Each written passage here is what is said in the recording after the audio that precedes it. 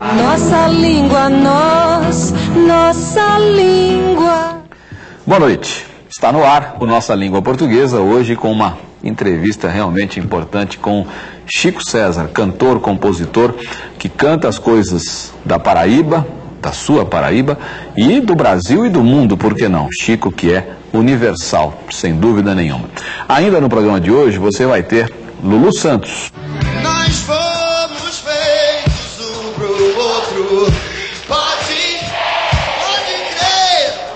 E também o querido e saudoso Gonzaga Júnior. Não saia daí. Daqui a pouquinho eu tô de volta. Portuguesa, nossa língua portuguesa, nossa língua, nossa língua, nossa língua portuguesa. Nossa língua. Nossa língua portuguesa. Nossa língua portuguesa, nossa, nossa língua. Nossa língua, nós, nossa língua portuguesa. Nossa língua, nossa língua, nossa língua portuguesa. Nossa língua, nós, nossa língua. Eu vou conversar agora com Chico César, nem preciso falar quem é, porque todo mundo te conhece, o Brasil te conhece e te admira muito. E eu acho que você já, já ficou de vez, né? Tua obra está muito bonita, muito bonita mesmo. E a gente quer falar dessa obra, centralizar a conversa nesse último disco que você fez. Beleza, mano, depois a gente vai mostrar melhor.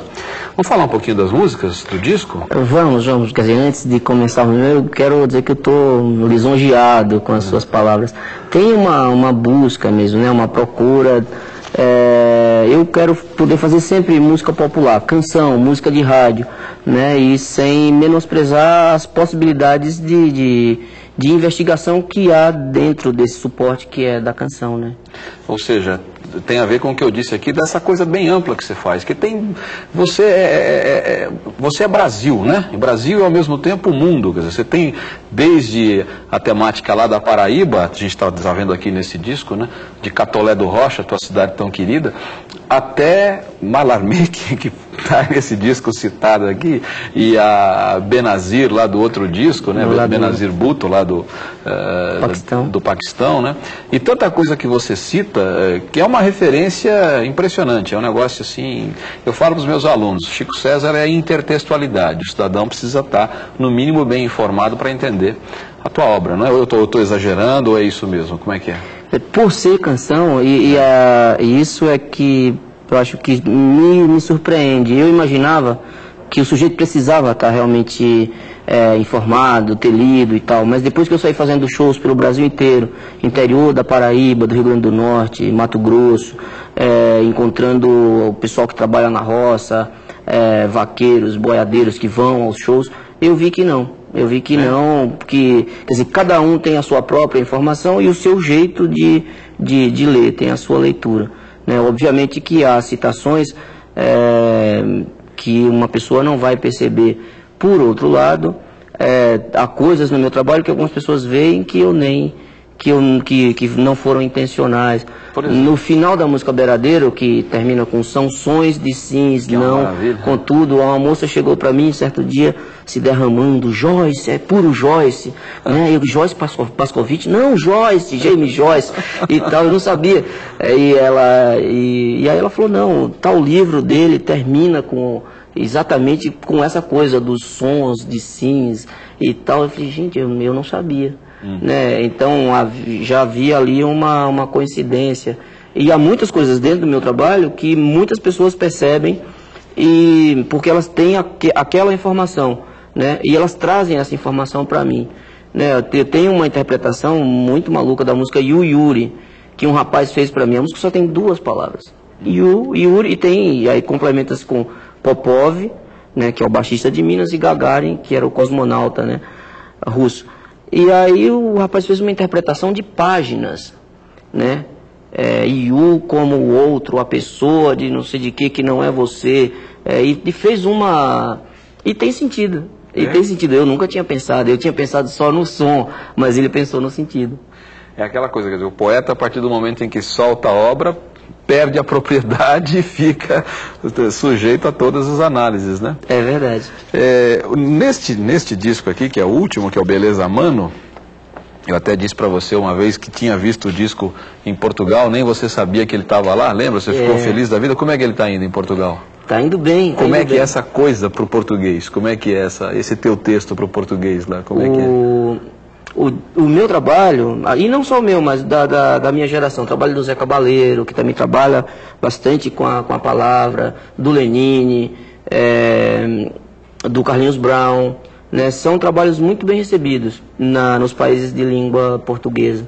Né, especialmente nesses países, por, por causa das investigações, os jogos de palavras, né, a- as palavras novas que nós trazemos para a língua, né, o tratamento novo para palavras já muito conhecidas. Né. Então, lá em Portugal, o, o meu trabalho é super bem recebido. É, é, no próximo bloco eu quero conversar com você propriamente sobre o disco. Eu vou já preparar aqui um, um aperitivo, que é essa coisa bonita aqui dessa espinha dorsal aqui, que termina aqui na espinha dorsal do Min. Né? A gente vai falar um pouquinho desse do Min. Né? E daqui a pouco a gente volta, eu vou falar de regência verbal, depois eu volto a conversar com o Chico. Você usa o verbo chegar muitas vezes por dia, afinal, acho que todo dia você quer chegar, né? E você quer chegar a ou você quer chegar em? Que história é essa? Eu vou pedir a você que preste atenção numa canção que o Lulu Santos vai cantar para nós. Veja o que acontece com o verbo chegar. Depois a gente vai mostrar uma outra, mas antes, veja lá, Lulu Santos, vamos ver. Tanta certeza no olhar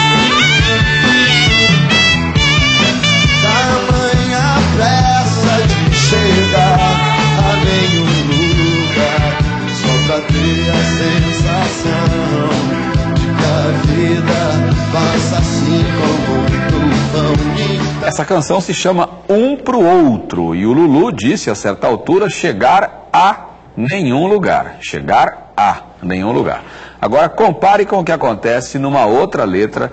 Quem vai cantar pra gente é o pessoal do Camisa de Vênus. Vamos lá.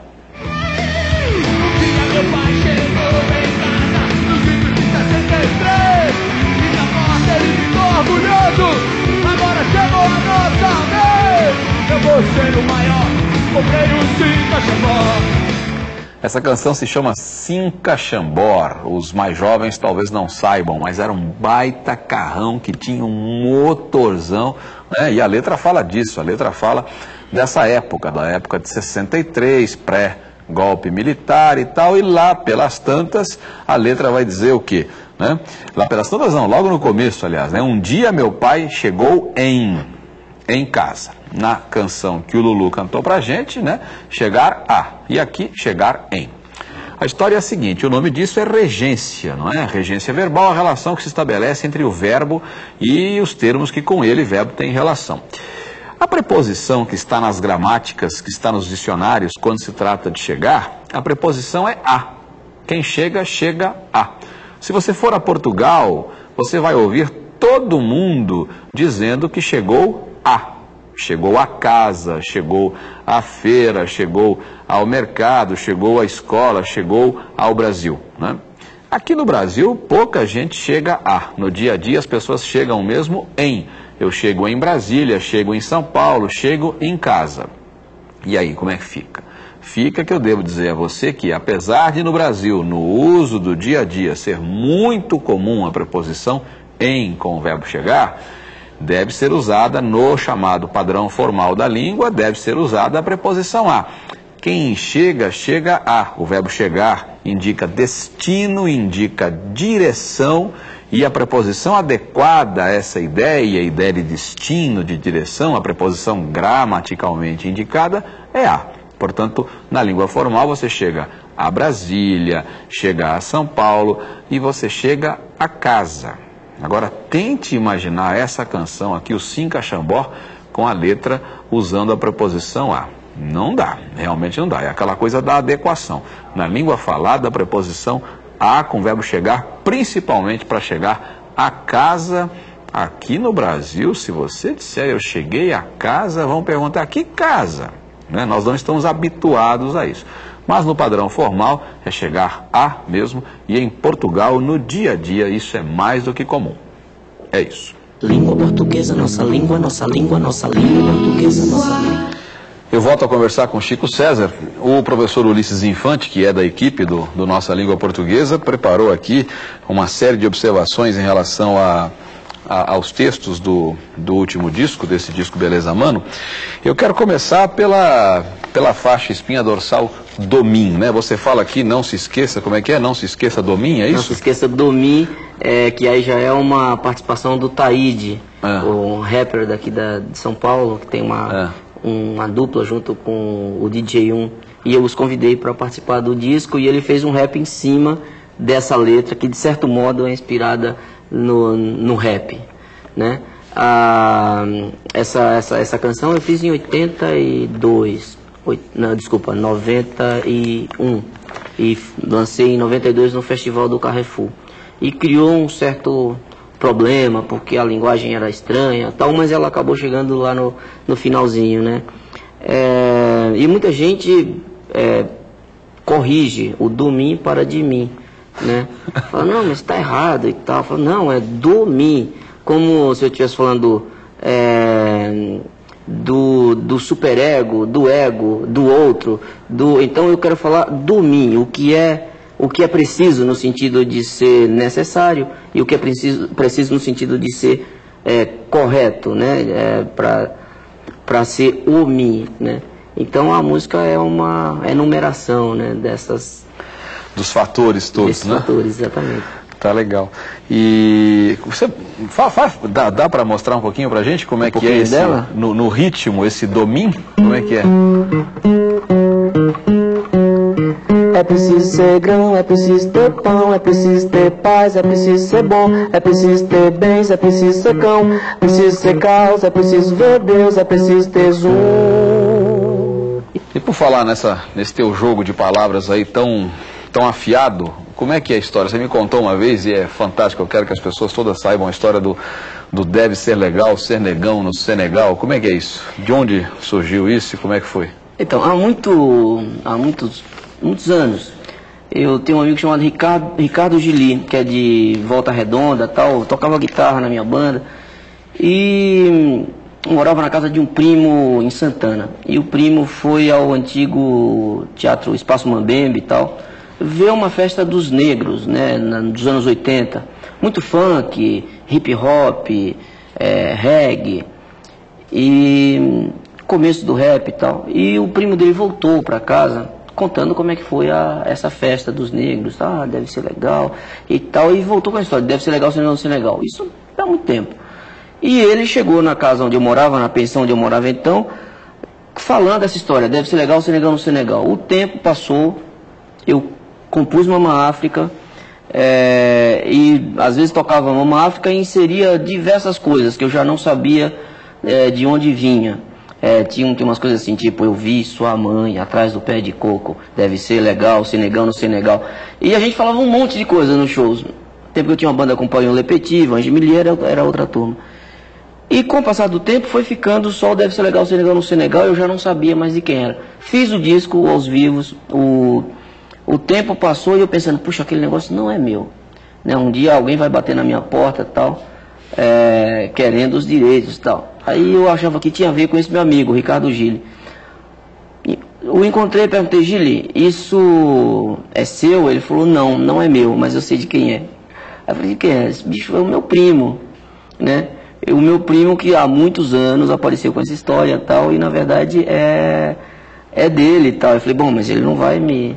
Né? Ele falou, não, ele só quer um disco e ficou contente que uma bobagem que ele saiu pensando depois de uma festa, né, dos anos 80, é, serviu para alguma coisa e tal. Eu falei, pô, mas é tão precioso e tal. Depois encontrei o próprio primo, né? E isso começou a fazer parte da música. Nas minhas canções tem muita, muita coisa hum, reaproveitada, coisas minhas, é, coisas de outras pessoas. No Beradeiro, por exemplo, eu tinha muita dúvida se aquela frase da cigana analfabeta lendo a mão de Paulo Freire Que é uma coisa de louco? é que eu ficava na dúvida se era minha ou se era de um amigo meu, do tempo da universidade. Ele mora no Piauí. E eu liguei para ele e perguntei. Magalhães, de quem é isso? Me tira essa, esse peso na consciência. Ele falou, isso é seu, lembra daquele tempo que a gente fazia os recitais de poesia e tal? Eu falei, pô, bom, esse é meu, graças a Deus. Isso é uma coisa incrível, quer dizer, o, o autor esquece que é autor. Eu esqueço, de vez em quando eu, eu me pego cantando dentro de casa, tomando banho, umas músicas minhas, é, como se não fossem minhas, né? Onde estará o meu amor, sabão e tal, né? Como se fosse qualquer uma, como se fosse música, do, sei lá, do Castelo Ratimbum para criança, qualquer uma, Sim. né? O Detalhes de Roberto Erasmo Carlos, e eu lá cantando a minha como se já não fosse mais minha, porque de fato não é mais, Sim. né? Eu vou interromper um pouquinho, nós vamos fazer um intervalo, daqui a pouco eu volto a conversar com o Chico César. Nossa língua, nós, nossa língua. Eu volto a conversar com, com o Chico, Chico César. Vamos falar, a gente já falou que ia falar, falou, depois não falou, rodeou, voltou, foi, voltou. Vamos falar do disco agora, deste disco aqui. É, chaga, né? Chega da chaga da dor, né? A música fica com esses gritos, né? Que, é, é, no que que, qual é o, a- a- o lance aqui linguístico do chega da chaga da dor? Como é que é? Então, essa, essa música é de um, de um show que eu fiz em 82, em João Pessoa. Um show chamado Pão Doce Recheado com Granada. Né? Um- em que eu us- usei bastante a, a um pouco da poesia concreta ou neoconcreta, né?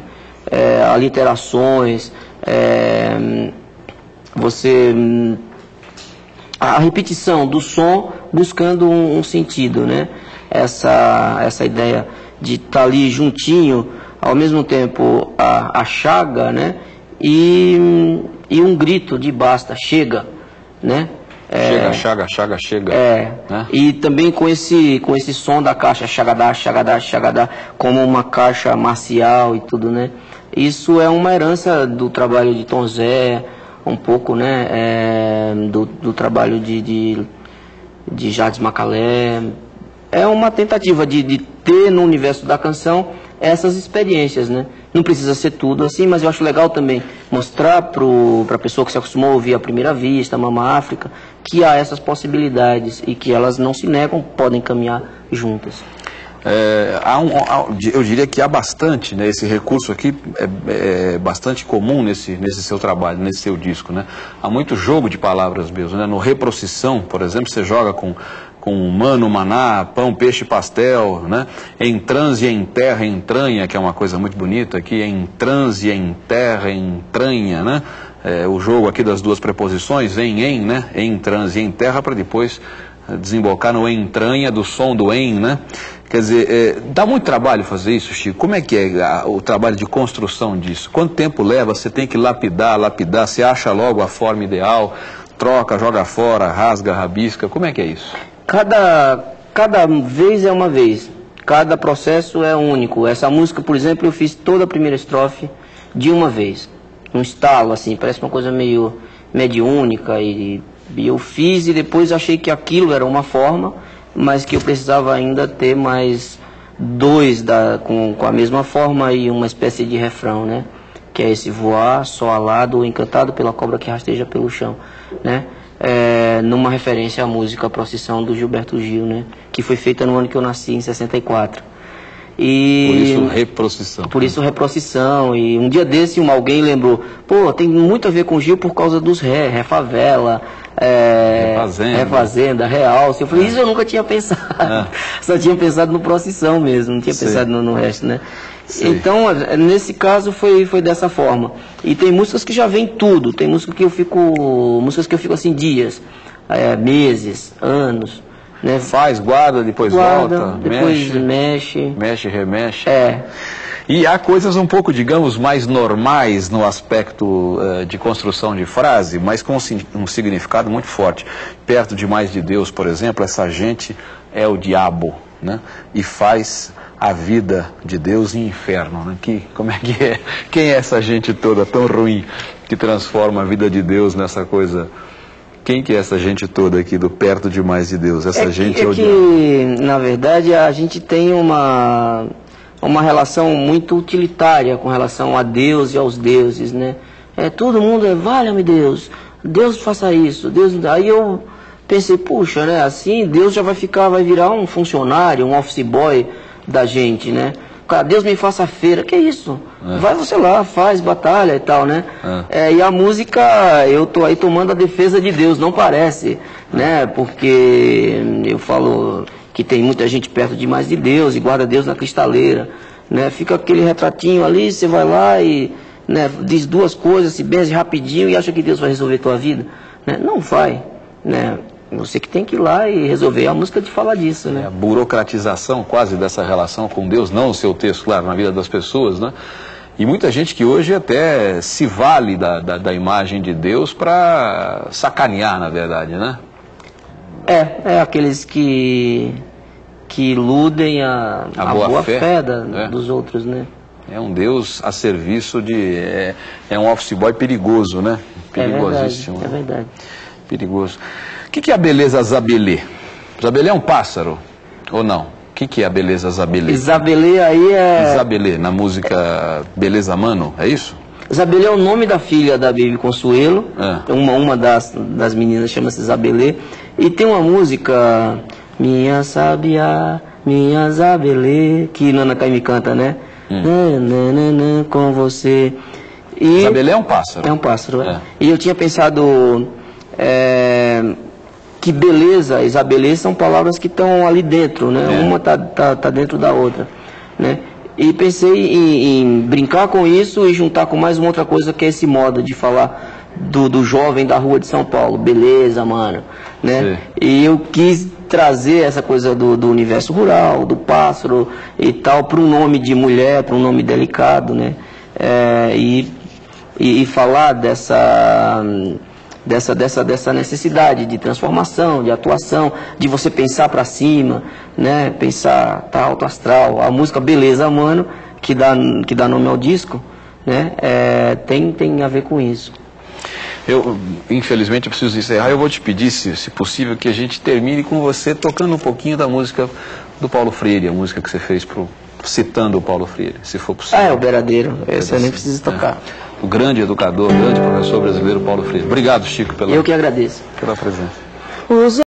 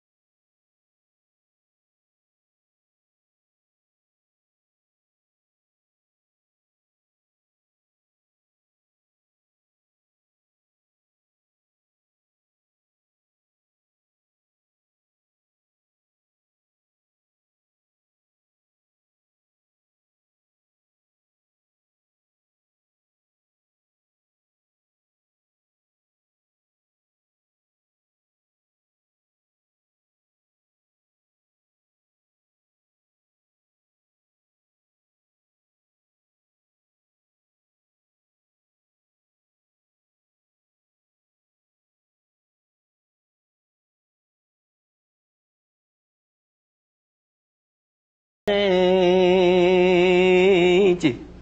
Língua portuguesa, nossa língua, nossa língua, nossa língua portuguesa, nossa língua.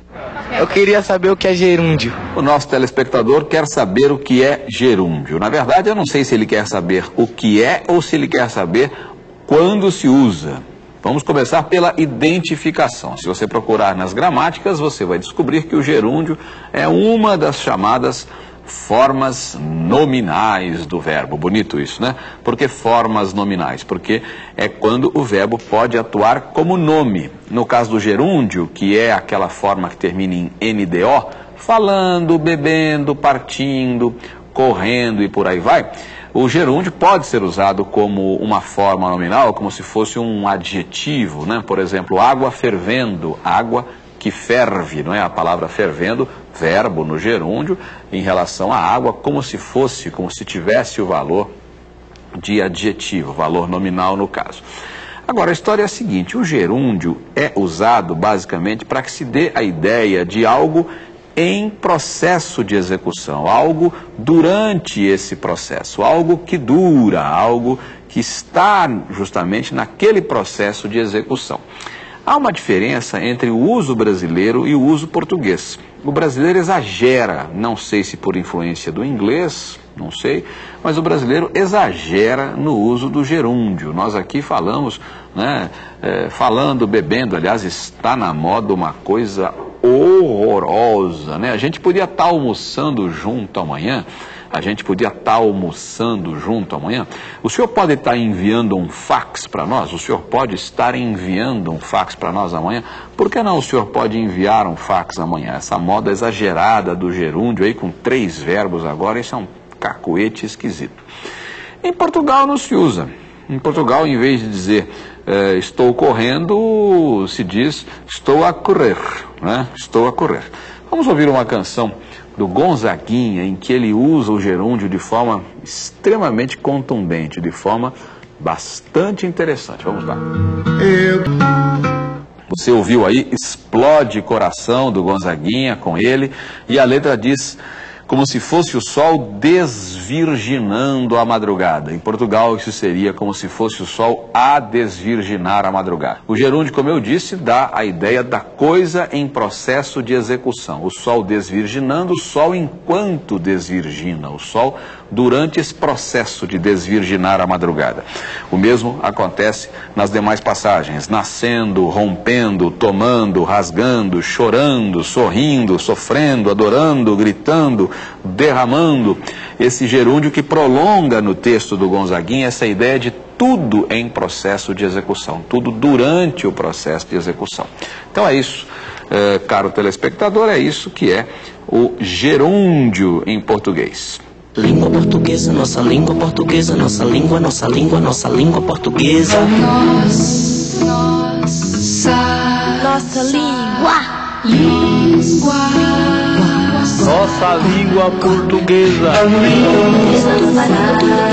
nossa língua, nossa língua, Nossa língua, nós, nossa língua portuguesa. Nossa língua, nossa língua, nossa língua portuguesa. Nossa língua, nós.